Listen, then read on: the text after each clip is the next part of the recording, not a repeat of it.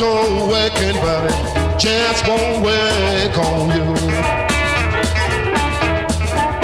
God, my